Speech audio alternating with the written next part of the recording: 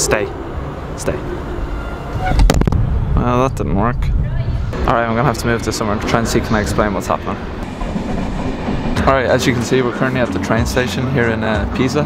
We're on our way to uh, just taking a day trip outside Florence. We just really quickly wanted to come on and say that we're just going to be taking a four day break from our videos because we're really backlogged on videos. The next video should be us arriving in Florence from Venice, but we have filmed all the way to Florence. Plus, tomorrow we're heading to the Tuscan countryside where there's little or no Wi Fi. So, we're just going to take a four day break. After the four days, we're going to be back to the usual daily videos. Alright, that was just a short announcement so that you guys know. See you guys in four days. Bye.